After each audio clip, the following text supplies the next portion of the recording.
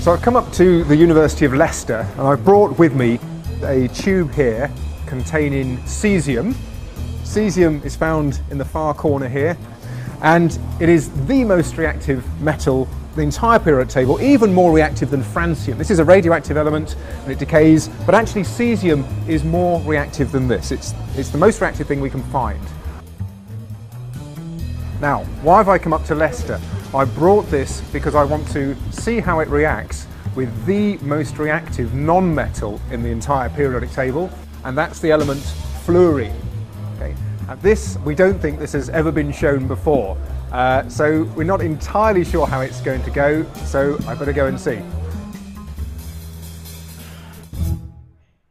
Having decided that I wanted to do this crazy reaction, I needed to find just the right person to handle the fluorine. And this is Professor Eric Hope here from the University of Leicester. So thank you very much for helping me out with this.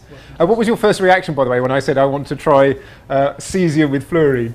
I thought you were totally and utterly mad. Uh-huh. That's probably most people's reaction. Now, we've designed this apparatus uh, with quite a lot of thought. One of the problems here is that we want to do this at the RI. And uh, transporting, uh, transporting fluorine is a little bit tricky, is it? Certainly. It uh, reacts vigorously, as we will see with virtually any uh, element in the periodic table. Eric's come up with this fantastic idea of just filling the coils in the apparatus, this plastic tubing that's been sensitized to fluorine, so it's not going to react with it.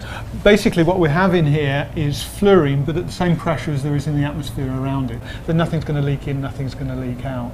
So even if there was a major uh, event, then the fluorine would not re be released from the apparatus. To show the extreme reactivity of fluorine, we're going to set fire to something. We all know how hard it is to start a barbecue using this stuff. This is charcoal, uh, trying to get it to burn with the oxygen from the air.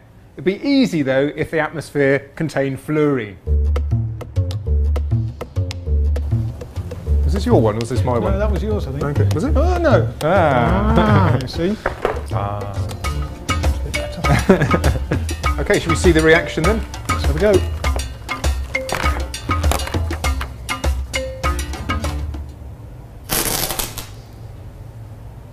Wow.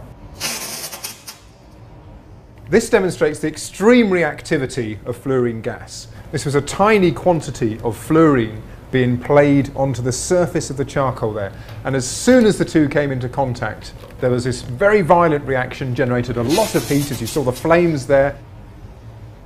But charcoal isn't terribly reactive. Cesium is much more reactive, so I think we should try this reaction now then. This is my cesium. Have you seen cesium before? No.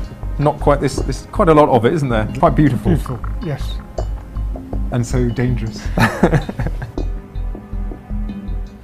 So this is a combination between the two most reactive elements in the periodic table.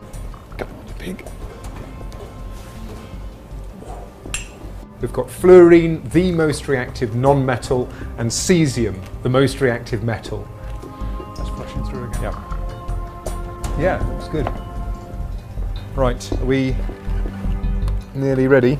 I'll, I'll lower this. Yeah, you look after your pipes.